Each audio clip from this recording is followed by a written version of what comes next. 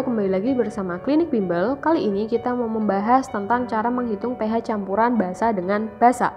Oke, sebenarnya uh, secara rumus mirip sama yang asam ya. Kita langsung praktekkan saja karena ini nggak tidak, tidak terlalu berbeda. Kita tentukan dulu NaOH sama CaOH2 itu sama-sama basa kuat. Kemudian dari situ kita bisa hitung konsentrasi OH- dulu.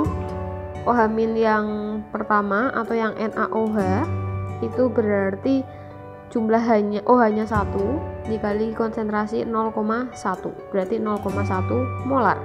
Kemudian untuk OH- yang kedua CaOH2 jumlah OH-nya ada 2, konsentrasinya 0,1 berarti 0,2 molar. Lalu hitung OH min campuran yaitu 0,1 kita kalikan dengan volume NaOH-nya ditambah 0,2 dikali 100 ml CaOH2 eh satuannya nggak usah. Kita bagi dengan 250 ditambahin ya 150 tambah 100 ml maka akan didapatkan hmm, 15 ditambah 20 dibagi 250 hasilnya 0,1 molar.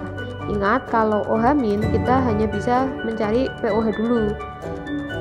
Rumusnya adalah min log 10 pangkat min 1 maka akan didapatkan POH nya adalah 1 kemudian untuk mencari pH itu adalah 14 dikurangi POH berarti 14 dikurangi 1 13 pH nya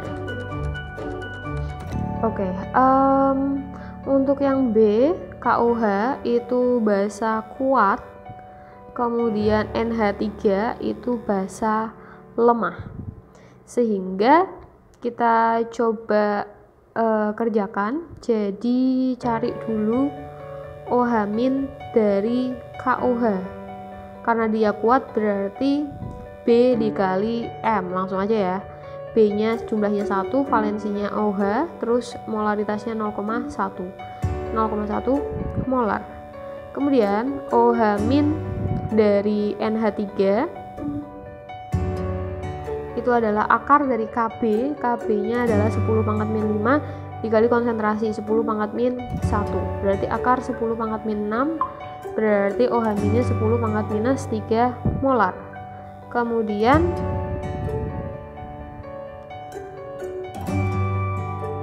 kita hitung OH campurannya sama dengan 0,1 dikali volumenya 200 ditambah 10 pangkat minus 3 dikali 300 mili dibagi 500 ya.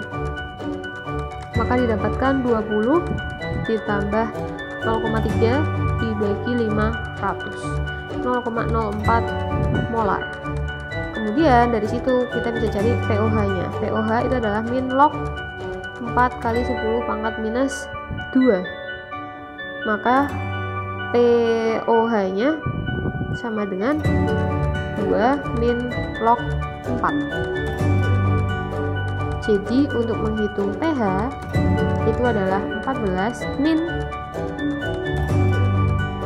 14 dikurangi POH 2 min log 4 14 dikurangi 2 12 min ketemu min jadi plus. Berarti pH nya adalah 12 plus log 4